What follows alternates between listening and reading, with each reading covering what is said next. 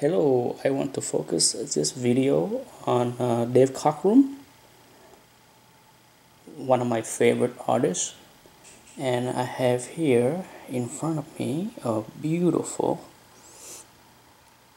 copy of X-Men 100, as you can see. It's a gorgeous copy.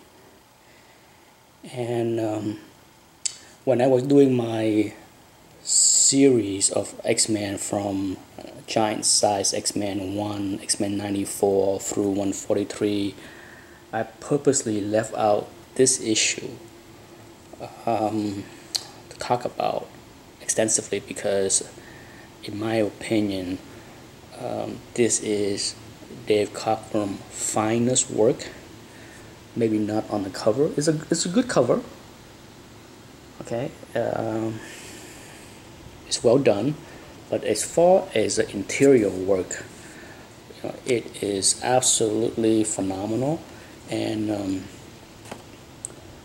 Dave Cockrum did ink as well as pencil everything himself on some of the issues in the early X-Men run and this is one of them.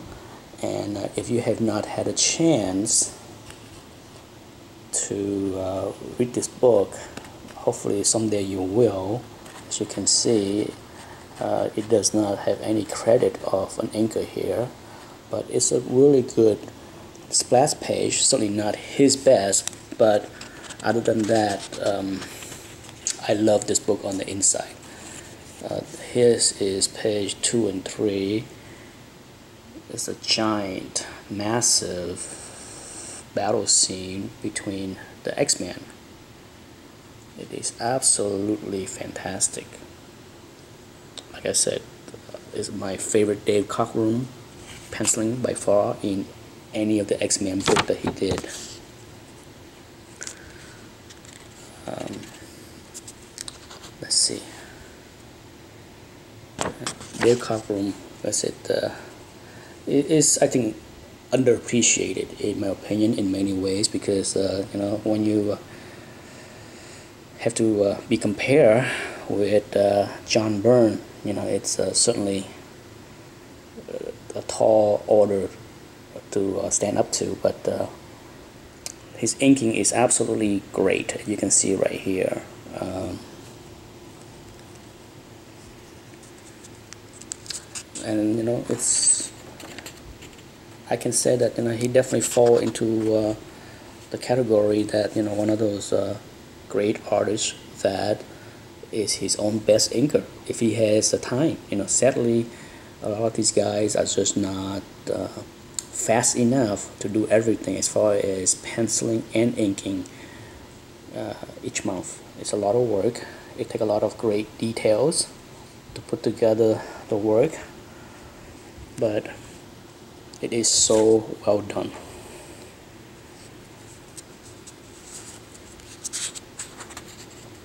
Let's see I'm gonna flip through some more pages here. It is a great page with Wolverine as you can see right here.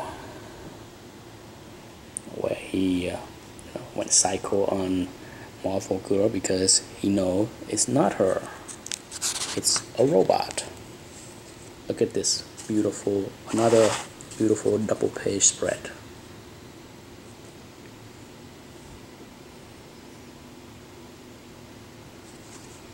like I said, Dave Cockrum at his finest, you know, really, really great stuff. I mean, he outdone himself with this issue. I think uh, whenever I flip through this particular issue, I can't help but uh, feel that it is his best work. From the first day that I opened this book and read it, and even today, you know, I. Uh, I have a hard time not thinking that it is his finest work uh, ever in any comic books. But anyhow, thanks for watching, and um, you know if you have a chance to pick it up or read this book, do so because I think you will be very pleased with the artwork. And here is the last page. As you see, Jean make the sacrifice to try to save the X-Men which lead to the next issue 101 the birth of phoenix. Classic page. Classic page.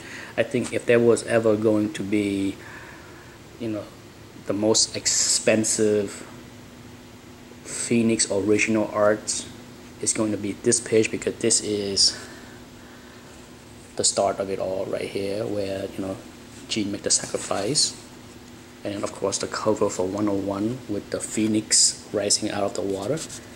But uh, beautiful work. And uh, definitely my favorite Dave Cockrum interior work. Okay uh, anyhow thanks for watching and uh, until next time